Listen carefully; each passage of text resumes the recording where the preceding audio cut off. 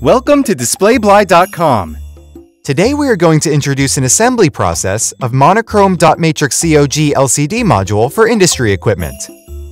First thing first, let me explain the specialties of this COG LCD module. Usually, the connection methods of LED backlight are wire, metal pin, PCB with hard pin, etc. We can see there is a big black conductive and adhesive film on the surface of LED backlight, and a small black conductive and adhesive film on the FPC of the LCD display. We assemble these two black films together, and it means that the LED backlight and the LCD display both use the same FPC. Let's see the assembly process.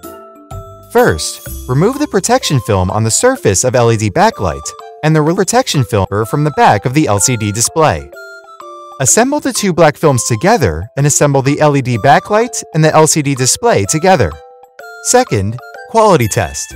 Check if there is any fault. Third, labeling and visual inspection. Fourth, packing.